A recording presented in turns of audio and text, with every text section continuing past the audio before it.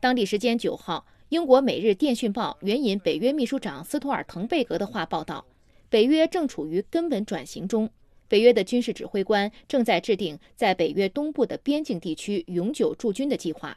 斯托尔滕贝格披露北约六月将在西班牙马德里召开峰会讨论相关政策。报道称北约的选项包括将爱沙尼亚拉脱维亚立陶宛和波兰等东欧国家转化为对抗俄罗斯的主要力量。